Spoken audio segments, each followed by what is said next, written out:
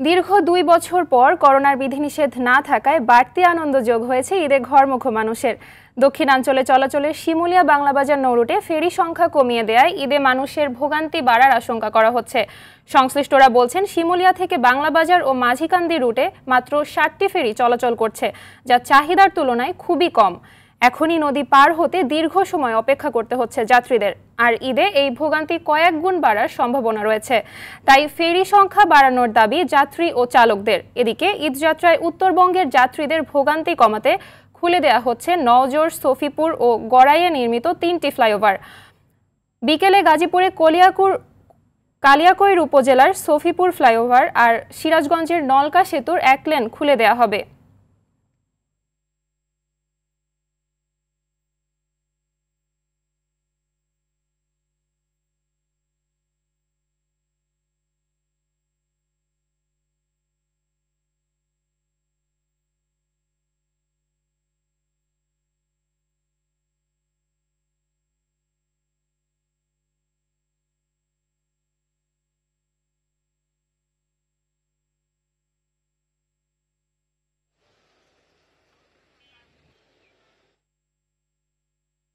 বিষয়ে আরও জানাতে সিরাজগঞ্জের নলকা সেতু থেকে সরাসরি যুক্ত হচ্ছেন সহকর্মী সাজিরুল ইসলাম সঞ্চয়। সঞ্চয়, ফ্লাইওভারটি কখন খুলে দেওয়া হবে? আর খুলে দিলে যাত্রীদের দুর্ভোগ কতটা কমবে আমাদের জানান।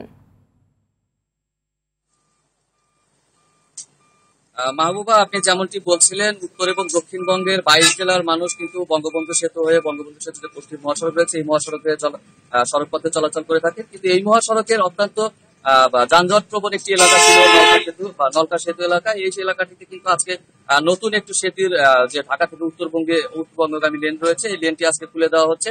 আজকে সড়ক বিভাগের কর্মকর্তারা আমাদেরকে যেটি জানিয়েছেন যে আজকে বিকাল ঠিক চারটা নাগাদ কিন্তু এই লেন সেতুর এই লেনটি একটি লেন চালু করে দেওয়া হবে।